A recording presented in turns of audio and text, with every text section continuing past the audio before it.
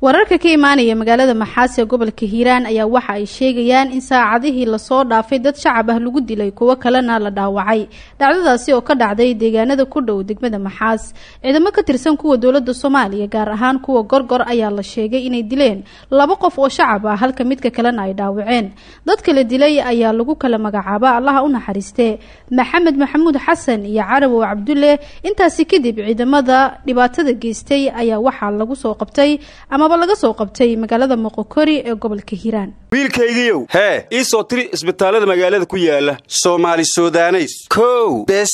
Allaahu akbar! War meeqaa tabeelaan laamiyada ku arkaayay aabba matayaad rabtaa mise tabeelle? Tayo allay leh. Haba u labayn soomaali sudaneys. Somaali sudanes hosbital s s h. Bremier woled baahitiraha bulshada ku bixi biilka ku dukaamayso ku iibso ama kaga iibso. Bremier woled adeega adeega